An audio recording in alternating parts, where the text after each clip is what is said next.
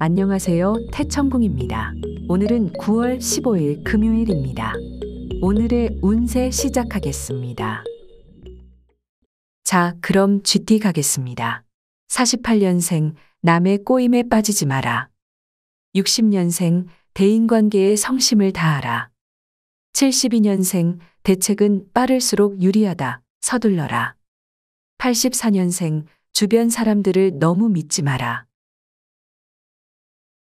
다음은 소띠 가보겠습니다. 49년생 새로운 것에 도전하라. 변화가 필요로 하는 시기이다. 61년생 주관대로 밀고 나가라. 성공의 길이 보인다. 73년생 주변의 충고를 받아들여라. 85년생 막힐수록 돌아가라. 때를 기다려라.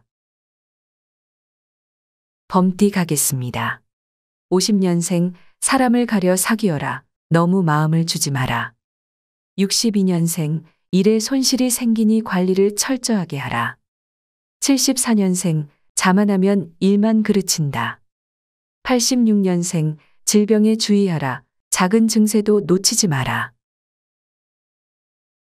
토끼띠 가겠습니다.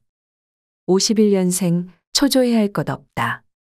63년생 허욕을 버리면 세상이 달라 보이리라. 75년생 남의 얘기에 귀 기울여라. 도움이 되는 말을 경청하라. 87년생 다툴 일은 피하는 것이 좋다. 용띠 가보겠습니다. 52년생 오전에는 약간 울적한 듯 하지만 금세 기분이 전환된다. 64년생 컨디션도 좋고 마음도 안정되어 일에 집중이 잘 된다.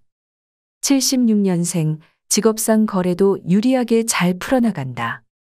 88년생 금전운도 있는 날이라 뜻밖의 재물이 생긴다. 뱀띠 가겠습니다. 53년생 자잘한 상처를 입거나 귀한 물건을 잃어버린다. 65년생 운이 막힘과 어려움이 생기기 쉬우니 주의하라.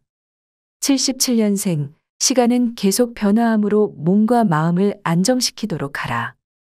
89년생 밤부터 안 좋은 영향을 받으므로 집에 일찍 들어가는 게 좋다. 다음은 말띠입니다. 54년생 시비나 다툼을 하게 되면 손해가 클 것이니 주의하라. 66년생 아침부터 머리가 띵하고 몸이 안 좋아 기분이 저조하다. 78년생 계약이나 거래는 마음 놓지 말고 항상 긴장하라. 90년생 뜻하지 않은 망신을 당할 수도 있다. 양띠 가겠습니다. 55년생 세상을 혼자서는 살 수 없다. 관계를 돈독히 해라.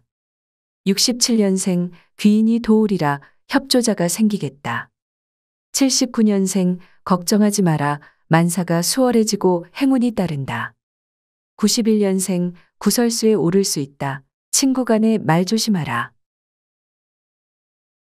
원숭이띠 가보겠습니다. 56년생 매사에 자신감을 가져라. 68년생 행운이 가득한 하루이다. 80년생 경솔하면 손해만 따른다. 차근차근 계획하고 행동하라. 92년생 남의 말에 현혹되지 마라.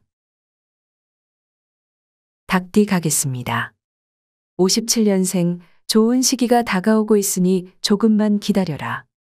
69년생 어려우니 계획을 미루어라. 81년생 기획 포착을 요령 있게 하라. 93년생 생각지 않았던 좋은 일이 생긴다. 이번엔 개띠입니다. 58년생 계획을 철저히 세워라. 70년생 세상에 부러울 것 없는 하루구나. 82년생 재물은 동쪽의 이상형도 동쪽에 있다. 94년생 시간의 여유를 갖고 움직여라. 절대 서둘러선 안 된다. 마지막으로 돼지띠입니다. 59년생 하는 일이 순조롭게 잘 풀려 나아간다. 71년생 너무 고민하지 마라. 원하는 바를 이룬다. 83년생 행운의 여신이 손짓하는 날이다. 95년생 일상을 조금 더 즐겁고 활기차게 살도록 해라.